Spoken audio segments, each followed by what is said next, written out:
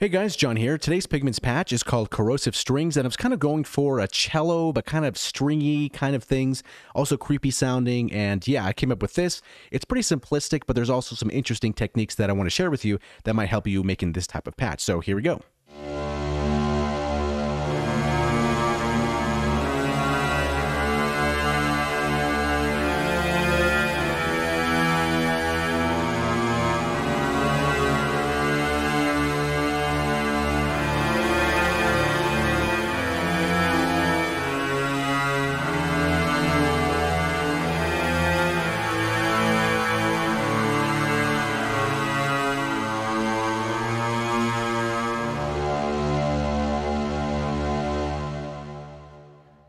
Okay, so that was corrosive strings. So let's get into it here. So for the synth side, we're going to be using the first engine here for sample, the second two sample again, and the utility engine, we're just using one noise oscillator, both filters, and then for our effects, we're going to be using three modules here, and then uh, just an EQ for the third bank over here. So let's turn off our effects here. Let's go back to our synth page. Let's turn off utility one, engine number two, and look at the first one. So this first one is going to be suspended.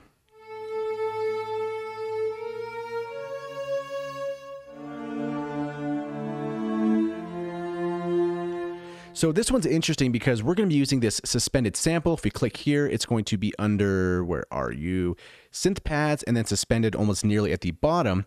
Now this one's going to be going to filter number one. We're going to talk about this just in a second because this is very cool how this works. So the start position is going to be 0.236 and you can kind of move it to whatever you want. I found like this one seems pretty cool. We're going to be using granular. The density is going to be 105 hertz. This middle knob is unchanged, so don't worry about that one. The size, however, is 395 milliseconds. And I don't remember if I changed any of these. I don't think I did. Yeah, I think these are all going to be default here, so you don't have to worry about that. But the important part here to really drive home is that this engine over here, this sample, is getting fed into this first filter, which is the comb filter. So we have all these different spikes here that kind of come up through this filter, and it really gives that interesting type of texture to it. So the gain is going to be at 0.954. So take a listen to how it sounds with this filter and then with it bypassed. And then bypassed. So right there, we can kind of almost tell that texture, that stringiness a little bit, but there's a lot of noise in the background here. Then with a filter,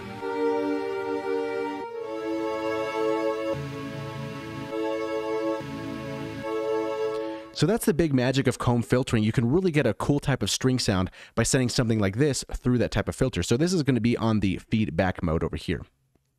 And yeah, And the filter routing, in case uh, you didn't notice already, is going to be independent. So we have this knob all the way to the right. So filter one's going to the effects and filter number two is going to the effects. So this basically means we're not sending filter number one and filter number two. They're going to be independent filters from each other. Moving on from there, let's turn off this engine and now let's go to engine number two. And this one's cool because we're going to be using the Bowed acoustic, which sounds like this.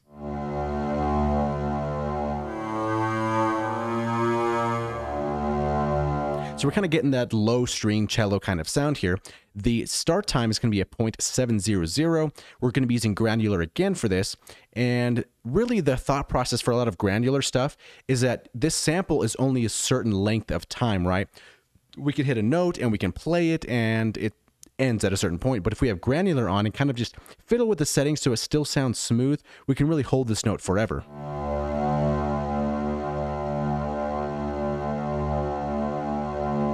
So that's the magic of granular in that sense. So the density is going to be 12.2 hertz. This knob is unchanged, and the and the size over here, I almost hit start time. The size time is going to be 500 milliseconds.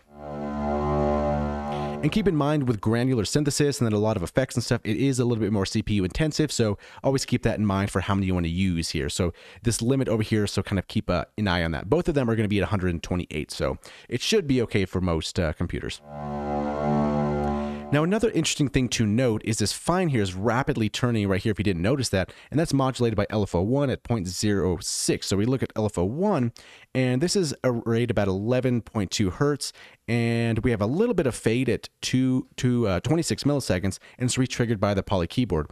So the thought process, if you've ever seen a cello cellist, a cello player play a cello, you'll notice how their left hand just moves back and forth really kind of funny. It's hard not to laugh at that sometimes for me personally.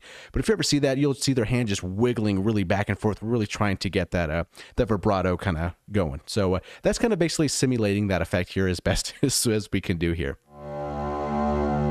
And then this engine is going to filter number two, which is a multi-mode, which is kind of just cutting a lot of that top end off at 13, uh, 13,440 hertz. Low pass 24. Because too high. And that's even cutting some stuff off. So feel free to cut a little bit more if you feel that's a little bit too annoying. Because this patch will cut through the mix, that's for sure. Now, turning this one off, let's go to the utility engine. So this one, we're just using the mid drive, which sounds just like that which is really nothing special, but it's just it's more texture, it's more noise, it's more sound that we can send to this whole patch to kind of fill it up a little bit more. And this one's going to multi-mode filter number two. All right, so that's basically the engines and the uh, filters. Let's take a look at the effects here because this is just dry like this. Which still sounds pretty cool, right? The, also, the envelope is actually very important. We should talk about that. So the attack is 1.14 seconds, the decay 1.19 seconds, sustained 0.636 because you can't really necessarily sustain that long of a stringed instrument for that long. Unless you're like Superman or something like that, you might want to bring down that sustained a little bit. The release is 1.32 seconds, and then the attack curve is negative 0.800, and then the decay curve is negative 4.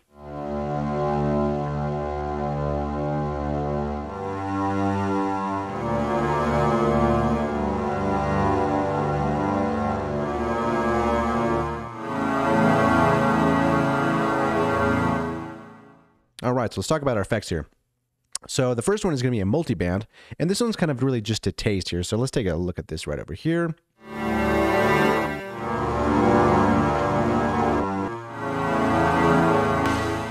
And there we go.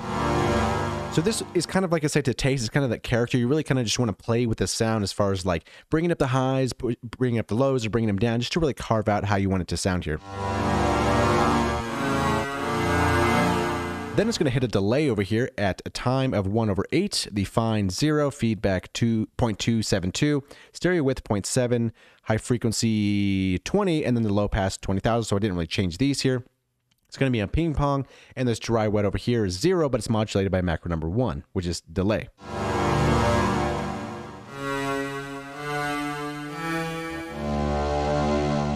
Next up, it hits a reverb over here.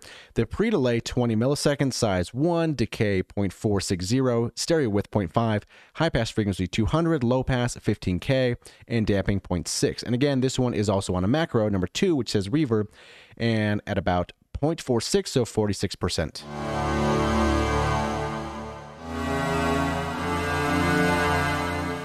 Last but not least, we just have a little bit of a corrective EQ.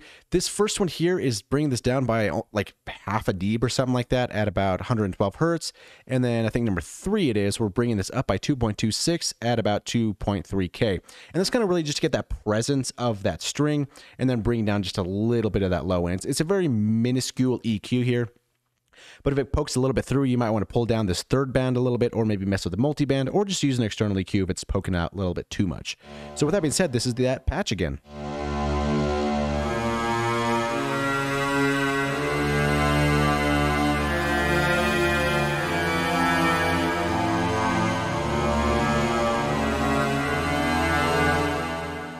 Yeah, and like I said, the macros are going to be delay and reverb. So if you don't like these delays, you can just bring those down and then use external stuff. Totally up to you. But if you like this patch and you can get it for free in the video description below, just click that link and it can be yours. So thank you for watching. Hope you learned something, and we'll see you in the next one.